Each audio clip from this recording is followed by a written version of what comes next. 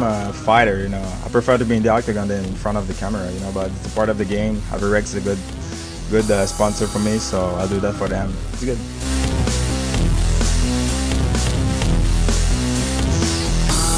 I always believe in myself. You know, I came from very far, and uh, you know, it's, it's a nice story actually. You know, I lost my first four fights in the UFC, and now I win.